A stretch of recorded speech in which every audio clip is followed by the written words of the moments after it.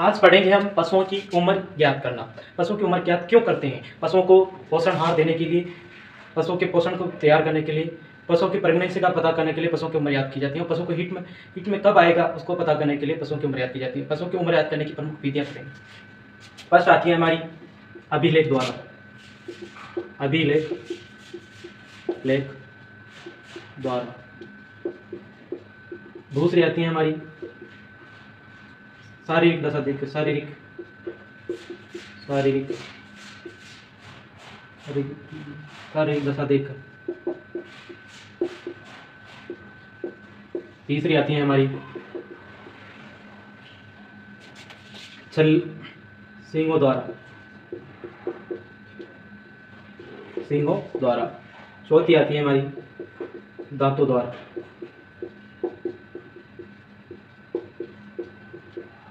हमारी चार विधियाँ हैं जिससे हम पशु की उम्र याद करते हैं। एक तो शारीरिक दशा देखकर पशु की शारीरिक बार, बार बनावट देखकर वही कितने हो सकते अनुमान के आधार पर दूसरे आती है अभिलेख। अभिलेख में जब भी याद कर सकते हैं कि हमें फिक्स पता हो कि इस बच्चे का जन्म या किड्स का जन्म कब हुआ था। उसकी फिक्स डेट याद होगी जब इसका पता चलेगा वो द्वारा दूसरा आती है शारीरिक दशा देखकर तीसरा आता है सिंगों द्वारा। तो सिंगों द्वारा हमें जब पता चलता है कि दो प्लस छल्लों की संख्या। फ़र्स्ट छल्ला तीन वर्ष की आयु निकलता है। तीन वर्ष में फ़र्स्ट छल्ला निकलता है। मतलब दो प्लस छल्लों की संख्या। जितनी छल्लों की संख्या होगी, उतनी हमें उम्र का पता चल जाएगा। मतलब दो प्लस अगर छल्लों की संख्या पाँच है तो वो सात वर्ष की हो जाएगी, सात। अगर छल्लों की संख्या छः है तो आठ वर्ष की हो जाएगी। मतलब छल्लों की संख्या को देख हमें पता चल जाएगा कि छल पशु की उम्र कितनी है। दो प्लस छल्लों की संख्या। सबसे जो उपयुक्त मेथड है वह है हमारे दांतों द्वारा। दांतों द्वारा हम याद करते हैं क्योंकि दांत भी हमारे टीथ हमारे चार प्रकार के होते हैं। फ़र्स्ट आता है के नाइन दूसरा आता है हमारा। इंसाइसर तीसरा आता है हमारा। मोलर प्री मोलर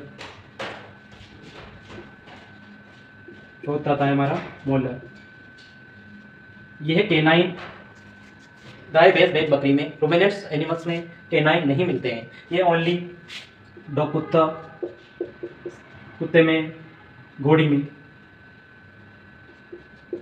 घोड़ी में, सुअर में। मिलते हैं। आते हैं इंसाइसर इंसाइसर दांतों की संख्या चार जोड़ी होते हैं इंसाइसर छः छः जोड़ी।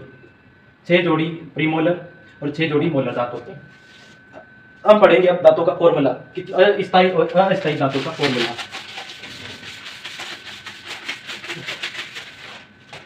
हम आप पढ़ेंगे जैसे गाय, भैंस भेड़ और बकरी। चारों का एक ही फॉर्मूला होता है।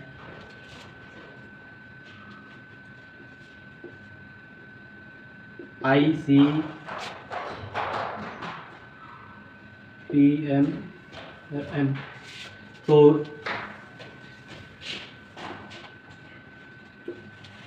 चालीस, तीस अड़तीस और दो प्लस यहाँ आएँगे। दो से गुणा करेंगे सबको। क्या ए, चार चार, तीन, सात। सात तीन बारह।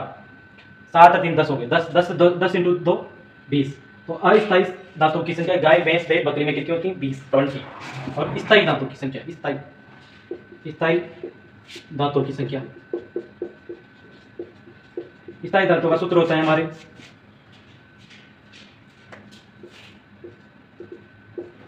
चालीस बटा तैंतीस।